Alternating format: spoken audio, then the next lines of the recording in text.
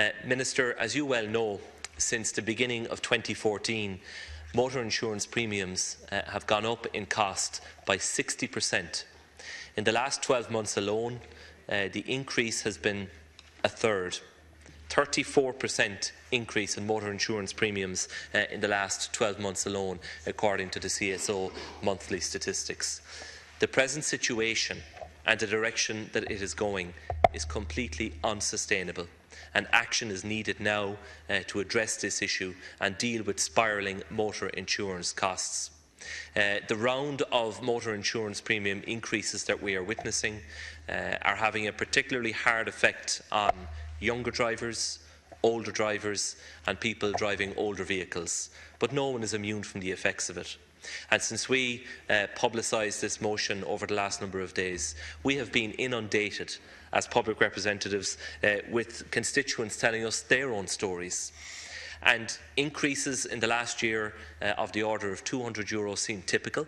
Uh, from the feedback that I'm getting uh, from constituents. Increases of over 300 euro are not uncommon, uh, and in some cases increases of far greater than that are actually happening uh, in the marketplace at the moment. Now, we have a situation presently where the insurance industry is defending its own position, it is defending its members. We have the legal profession defending their members and defending their interests. We have the central bank, who seem to be preoccupied with the underlying financial health of the insurance industry and insurance companies, and that's an important issue that cannot be ignored. The Injuries Board are defending their position and are saying they're doing a good job. But I have to ask the question, who is looking after the consumers? Who is looking after the motorist who is getting uh, the motor insurance renewal in the door and is seeing an increase of several hundred euro. And it's not just an issue for the private motorist, it's an issue for the business community as well not just hauliers whose core business is transport, uh, but many other businesses throughout this country uh, for whom transportation is a key cost and motor insurance premiums uh, are a key uh, input cost. So this issue is a very important economic issue for the country as well as being a vital issue for the individual uh, affected by the level of increases that we're currently seeing. The thrust of our motion uh, is to call for the establishment of a task force. A task force along the lines of uh, the Motor Insurance Advisory Board, uh, which operated very successfully for a number of years uh, from when it was established in the late 1990s. At that time, motor insurance premiums were increasing rapidly as well. They're now increasing uh, at an even faster rate.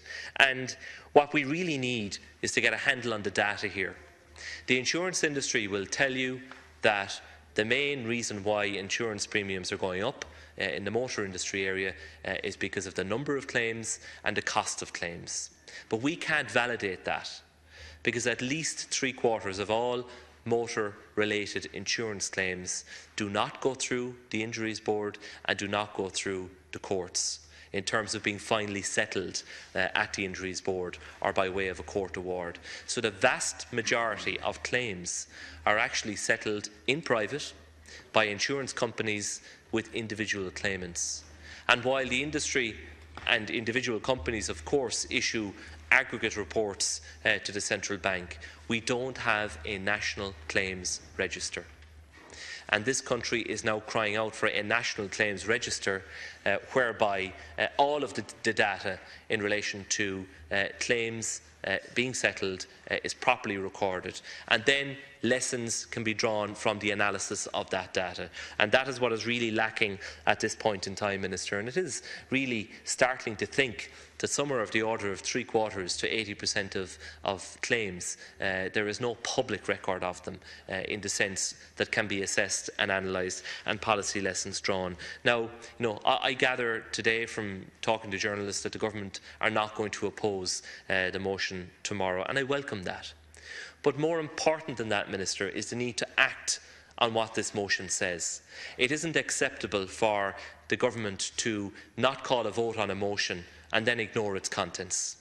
If the government is supportive of this motion, then you are going to have to implement what the motion says. And I have been consistently raising this issue, along with my colleagues, uh, with Minister Noonan uh, and the government generally uh, over the last number of months and going back well into last year. And Minister Noonan will, will vouch for that. And his response has been to set up a Department of Finance-led review. It's an, an, initiative, but in my view, it isn't an adequate initiative, and it's not an adequate response to the scale of the problem that motorists are facing at the present time by way of increases in motor insurance premiums. So we want to see a new task force set up, which will listen to the industry, yes, which will listen to the central bank, which will involve a number of government departments, transport, enterprise finance, which will give the Road Safety Authority uh, a voice as well, as well as the Gardaí and the Injuries Board. But, but most importantly, we'll listen to the end consumer. We'll listen to the motorists. We'll listen to um, families who are no longer able to fund uh, the cost of motor insurance for a young person, for example, in the family. And in the last couple of days, you know, I have got dozens of individual examples brought to my attention. One said uh, last year the insurance was 540 euro. For the renewal this year, the insurer has quoted 880 euro, so an increase of 340 euro. Another person told me their premium was increased by 70% despite a full no claims record uh, being present. And as I said earlier, the typical increase seems to be uh, of the order uh, of 2 to 300 euro. Now, I fully acknowledge the fact, Minister, that there are multiple reasons behind uh, the level of increase that we're witnessing in motor insurance premiums, uh, including the issue of false claims, fraudulent claims, exaggerated claims, and that needs to be dealt with. And where people do that, they need to be punished. And I'm not sure we're going far enough at the moment. But I welcome the fact that some cases uh, have been brought before the courts uh, in that regard. We had the, the collapse of Setanta Insurance uh, over two years ago. And the fallout from that is still being played out in the courts. It's going to the Supreme Court now because the Motor Insurance Bureau of Ireland uh, is not accepting the High Court decision and essentially we have the Insurance Compensation Fund and the Motor Insurance Bureau of Ireland at each other's throats. And who's losing out in that case? The 70,000 uh, Setanta customers and the, the, thousands of Setanta customers who have outstanding claims in the system.